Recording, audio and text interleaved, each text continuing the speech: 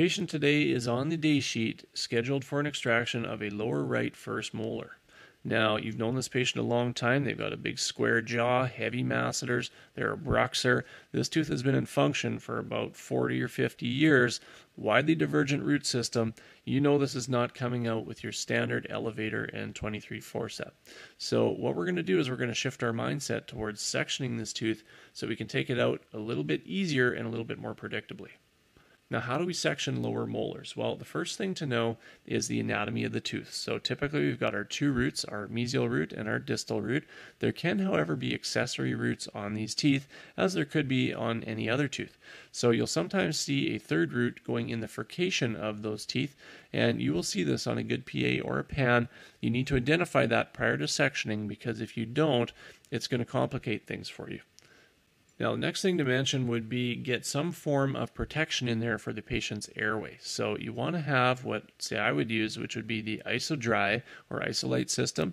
You could use a sea sponge or laryngeal sponge to go in there, soak up the water, protect the tongue, and keep things isolated so the patient doesn't swallow any restorations that happen to pop out or any tooth structure that may flake away as we're sectioning through that tooth.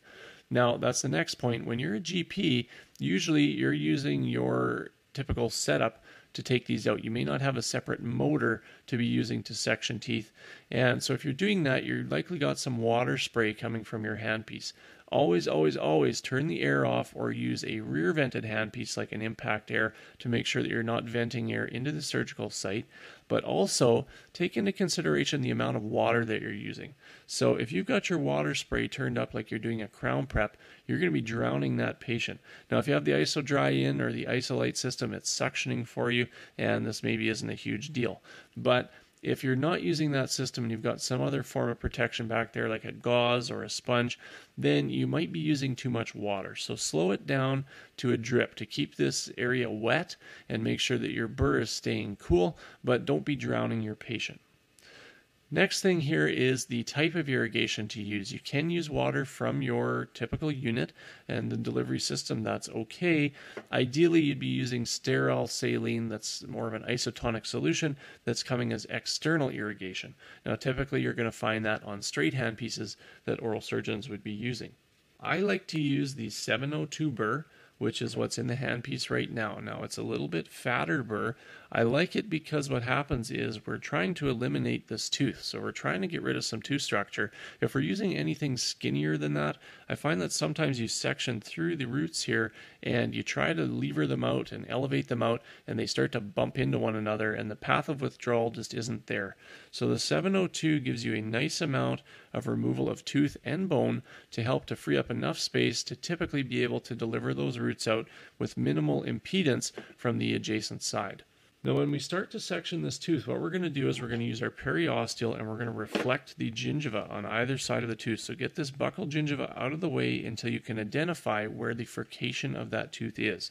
Same thing here, we're going to go down on the lingual side, get the tissues out of the way. So again, you can see where the furcation would be because it's not always going to line up with that central groove of your tooth. So try to kind of look at underneath the gums to see where you need to be sectioning. Next thing that we do is we cut the crown off. Now, some people will skip this step. I don't skip it, and the reason is if you cut through here, sure enough, you can get through the furcation most times. When you do, and you then go to place your elevator in to split that tooth, it's difficult to concentrate your forces to the apical part of that tooth to propagate the crack through the tooth.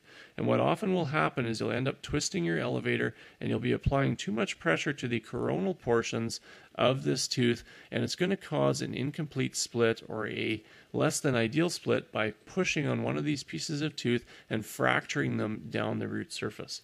So get rid of the upper part of this tooth. Everything above the height of contour is what I say because none of that is useful for elevating or your forceps. So keep everything kind of below the height of contour and do your initial cut directly through the tooth.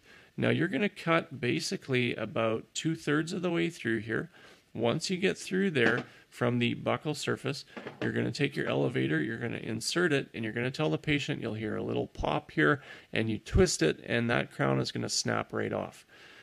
Now what you've got is access to the pulp chamber. So you can basically see now what your root system looks like and you get a good visualization for where you need to cut next. So if you have an endo-treated tooth, this is great because the gutta percha is there and it's kind of like a target that you can aim between and you know that you're going to get the perfect section. Other than that, you'll still typically see where the pulp spaces would be and you can still section very, very nicely now with better visualization and less crown in the way. So you're going to continue to section that tooth. And again, you don't want to go all the way through the tooth because you don't want to puncture through this lingual plate here. So you want to go about two thirds of the way through. And you're going to have to note that these teeth are not straight up and down. Okay, so if you're sectioning and you're going through here straight up and down, you might think that you're about two thirds of the way through, but what you're actually doing is you're basically almost lined up with that lingual plate. So you need to take into consideration the tilt of that tooth. They're usually leaning inwards or medially. So you want to tilt your burr along with that so that you can section through that properly. The other thing to note about the angulation of your burr is that the roots here are typically offset by maybe about 10 to 15 degrees from the occlusal surface. So if you cut straight down here along this buccal groove, or say where you think the furcation is, look at where that burr ends up. It's cutting right down into the mesial root of that tooth, and that can cause some problems because it's going to weaken this mesial section of the tooth. You're going to try to elevate it out, and this root tip is going to separate right here. So that's a bit of a headache to get out, especially when it's a mesial root tip, because visualization is a little bit tougher when you're on the mesial aspect versus on the distal. Always, always, always cut the interradicular bone first. So make sure as you're cutting your section here, if there's widely divergent roots, don't be afraid to basically obliterate that bone in between those roots. Get as much of that bone out of there as you can to ensure that you can basically collapse either root now into the middle of that socket. So that's what you're going to do. You're going to cut down between these. You're going to take your elevator then once you're finished and you're going to elevate inwards. You're going to push inwards here to tip that root or collapse the root backwards. You can then do the same with the distal root. So you can elevate it inwards to lift it forwards and in toward the middle of the socket. If barring all that, you've taken away a bunch of that bone, you still can't get those out for some reason. Maybe you can't get a good purchase to elevate that tooth. You can then use a 700 or 699 burr, make a slightly uh, thinner trough along the mesial aspect of the root or the distal aspect of the root, and then you can use your elevating luxator to get down in there to loosen that up and get a purchase to again collapse those roots into the center of the socket and then deliver them. So what I will use typically here as I am elevating those and if I have a good elevation maybe they're not quite coming out but they're getting loose I will also consider using a 74 forcep and I have that right here